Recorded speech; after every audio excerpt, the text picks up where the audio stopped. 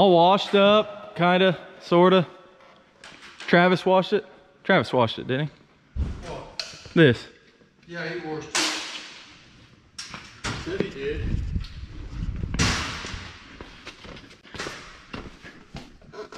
What are you doing, David? What are you doing over there? Placing chopping knives for the, for the corn stalks. Chop them down nice and low. New lawnmower blades. They're in there. Yep. Wanna know what I'm doing? Uh, sure. Why don't you tell us? I'm fixing Case's mistakes. Hold on. Okay. This goes up in here. Got the chain welded on these height sensors right here. Goes up, hits the top of the button. Oh, yeah. See this one over here? Piece of tin put in there. I put that in. I was in on it. I was in on it. Then you got this one, busted all the pieces. Where it went up and hit it. I'm gonna try to put a spacer in here so that won't go up quite as high. Hmm. That's just pure stupidity doing that that way. That's true. That's just proof, just because you got green engineering, don't mean you're an engineer. Well, you know what you call the engineer that got all these? An engineer.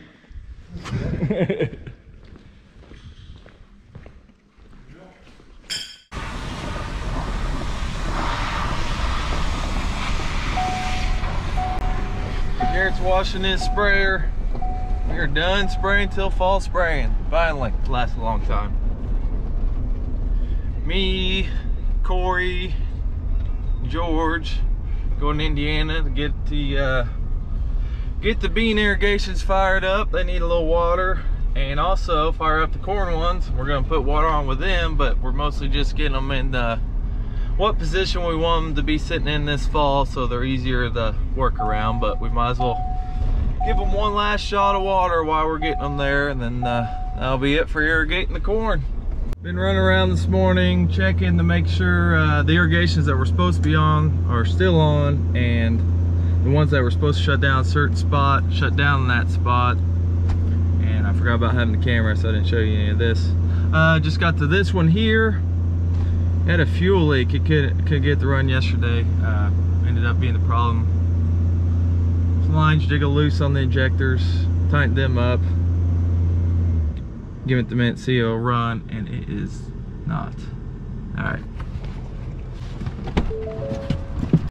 Never mind. Antifreeze leak in the radiator.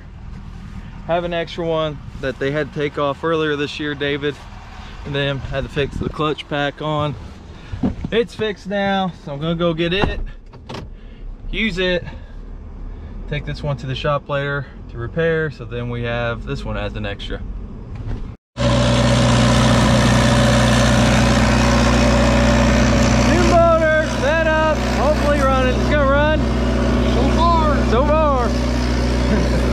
That's better than not yet. Thing ain't over yet. Oh, there he comes. Comes the soil warrior.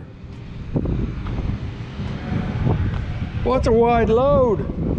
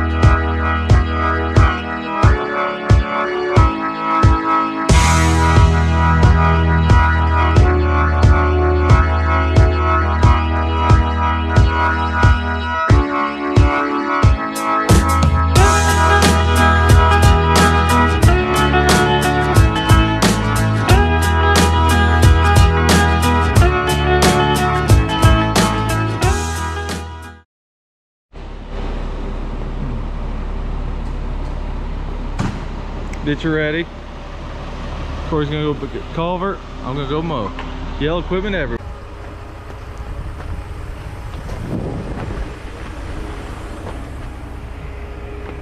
Little teeth, gonna grind it right up. Take care of some little trees on a ditch bank. Following Corey across the old Wabash Cannonball, across the mighty Wabash River.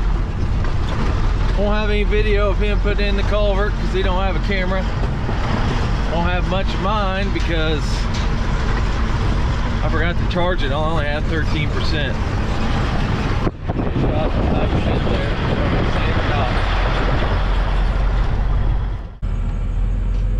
As you can see, we got a lot of little trees that the mower just can't reach. Rob sunlight, rob nutrients, block the ditch.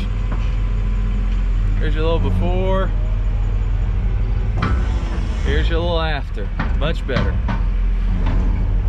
Like I said, I don't have much battery because I forgot to plug it in, but uh, I have a little video of this anyways.